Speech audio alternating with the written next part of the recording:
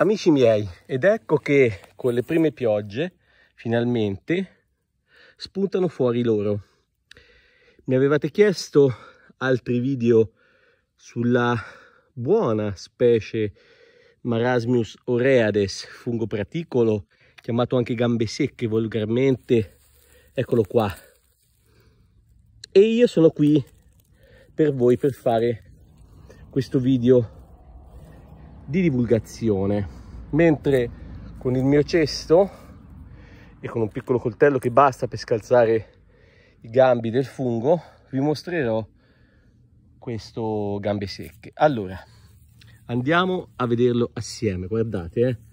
io vado qui e opero questa cosa vedete? Ho scalzato praticamente il fungo e cosa si nota? Innanzitutto la durezza del gambo, il gambo è duro, duro, tenace.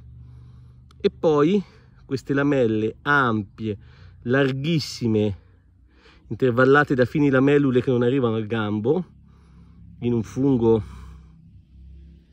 dove tra l'altro le lamelle non sono adnate al gambo. Però vi voglio far vedere questo vedete? Vedete?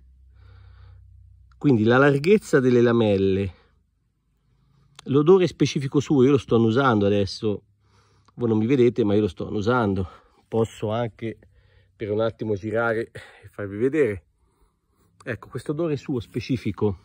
Le piccole dimensioni e la caratteristica di essere grofano cioè ora ha un colore così carico ma quando si asciuga il tempo se si asciuga il tempo va a sbiadire tantissimo. Sono cresciuti dopo le piogge di, di questa notte di ieri io adesso farò questa raccolta perché li porto per un piccolo sugo da fare, no? A casa. Però li vado a raccogliere adesso.